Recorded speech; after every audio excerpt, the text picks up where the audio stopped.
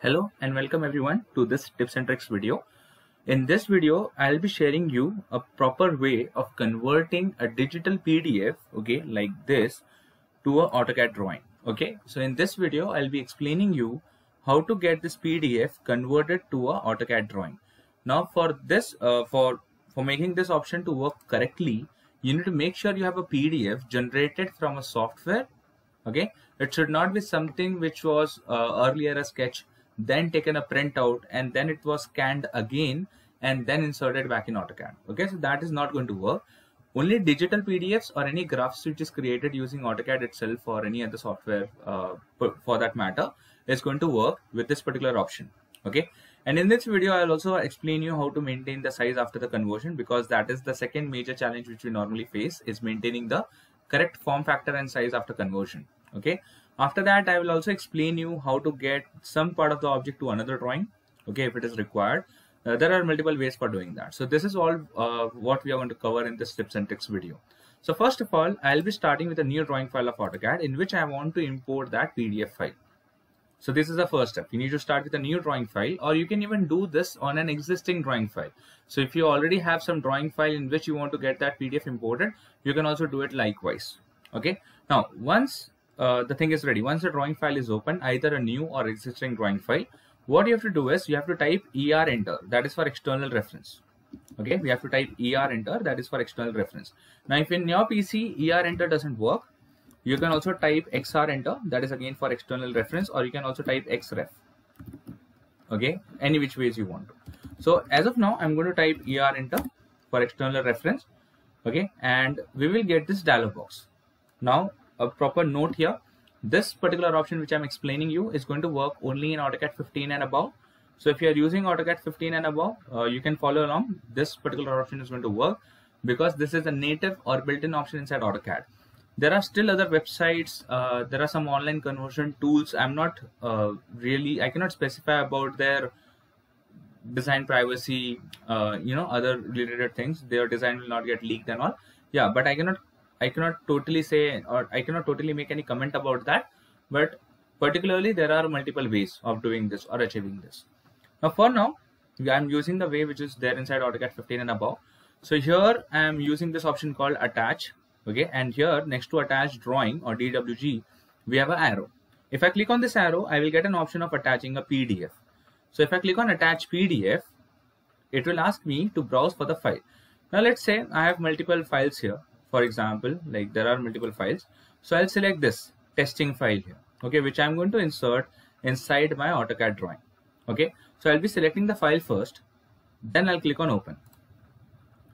Generally here you can select which all pages you want to import. So if your file contain multiple pages you can import it or you can define it from here like which all pages you want to import page number one two three etc you can do that by pressing control if your file has one page like the file i'm using so you don't really need to worry about uh, managing the number of pages here.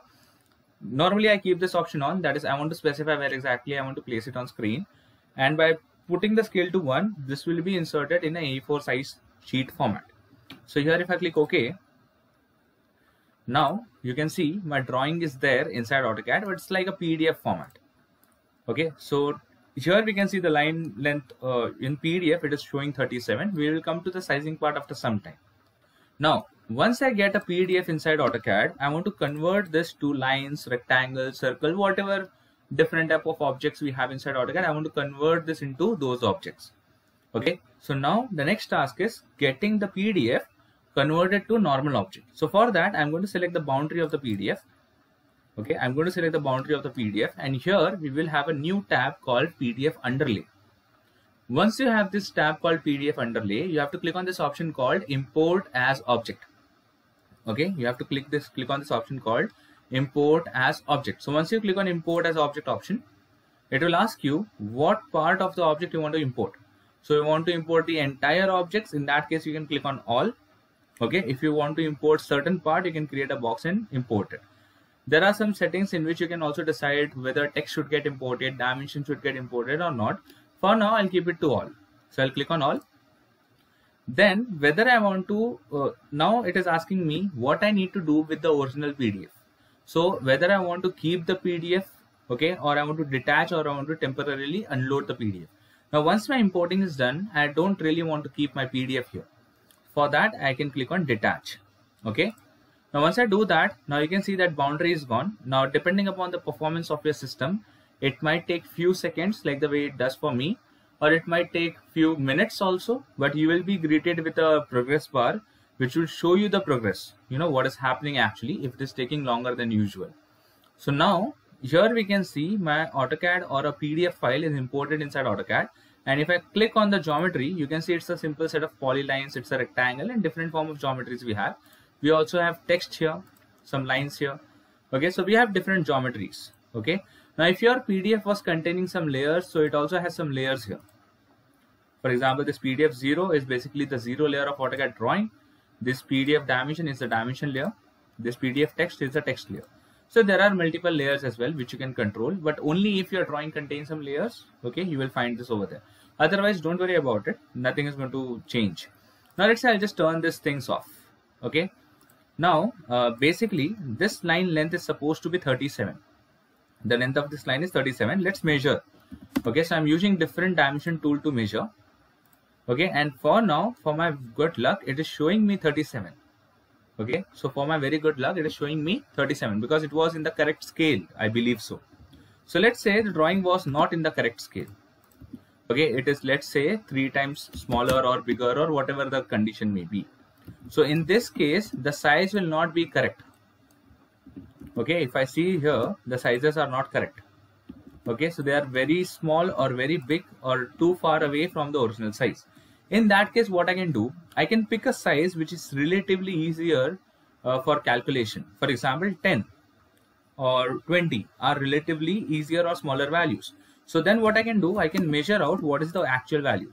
So here it is saying in place of 10 now it is 3 okay in place of 10 now it is 3 so it is almost 70 percent smaller and for me it is very easy to calculate so how to calculate the scale factor for that i will activate calculator now here, what I want the size, it should be 10.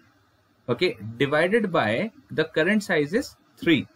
So once you do that, you get 3.3333 likewise uh, in the input form.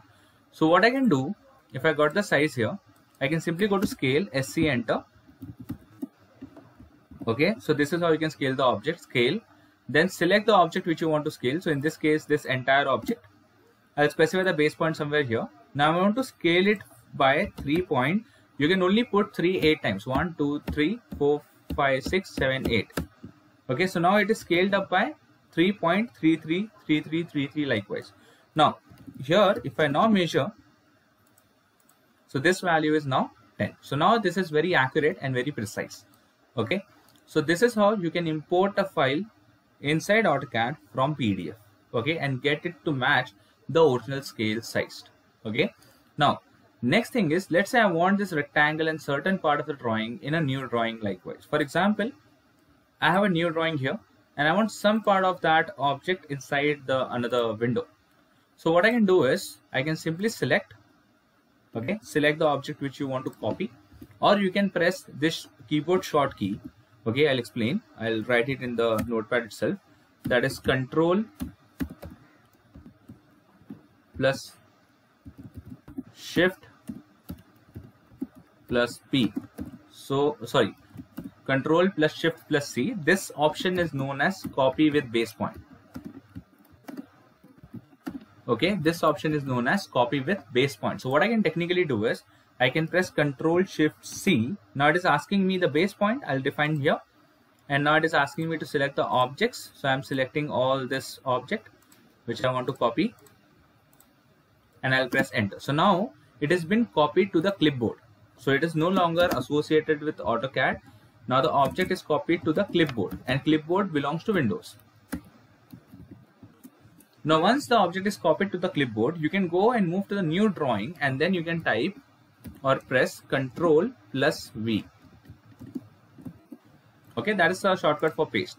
So here I'll go back to a new drawing file. I'll press Ctrl plus V and here you can see I'm pasting it.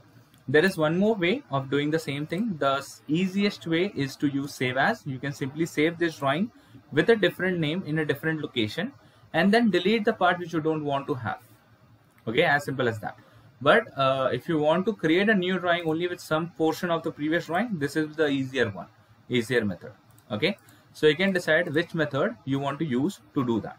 I hope this answers all your questions related to how to get the pdf inside autocad and to get you know drawing from one file to another. Okay? So i hope this will answer all your questions. Thank you very much. Have a great day ahead